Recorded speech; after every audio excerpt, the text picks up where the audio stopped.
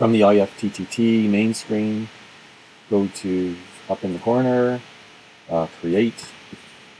What's going to happen is you'll see this page, and it's a bit confusing, but pick the this. So this is the this part of the recipe, if this, then that. And then you end up getting a bunch of thises to use. So you can scroll down and find one. Uh, you can search here.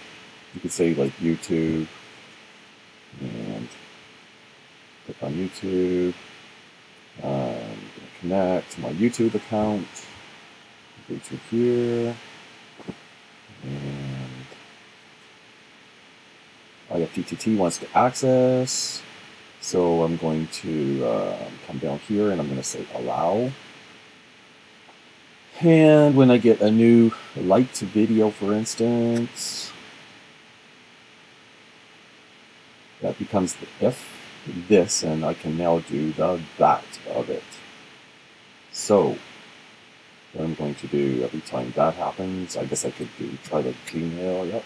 Hi guys and gals, just wanted to introduce you to a piece of software that I use that's critical in my operation. Uh, take 90 seconds to watch it or skip ahead 90 seconds.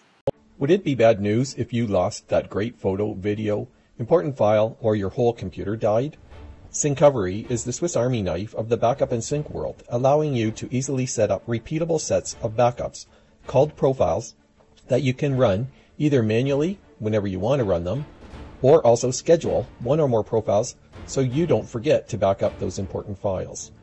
Syncovery can back up and sync from practically anywhere to anywhere, such as your hard drive, to an external hard drive, a thumb drive, as well as to the cloud, which is any place outside of your home or business, such as Google Drive, Amazon, Dropbox, DigitalOcean Droplet, or other virtual private server.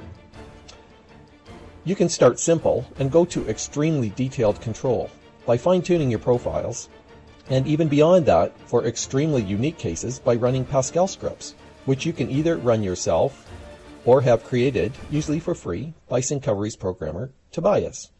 Be sure to visit me at fredstipsandtricks.com where I provide how-to and tutorial videos and blogs to help you get Syncovery and other things running, give you tons of practical tips, right from backups and syncs that I personally create and use to other things. And you can save big money on your purchase of Syncovery by clicking the purchase button on my site. Practically your friend. Fred and send an email, send yourself an email. Um, up to 20 recipients. Uh, this will send yourself one. So let's just do this one. And uh, liked on YouTube, title, blah, blah, blah, and create reaction. Okay, so anytime anybody likes one of my videos, um, it will send me an email. Now I do a finish, and that should do it. I can now come up here and uh, oh, let's just go back to the home.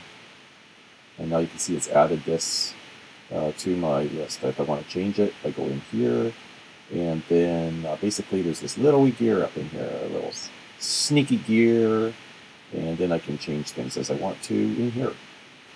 That basically covers the uh, real basic gist of IFTTT.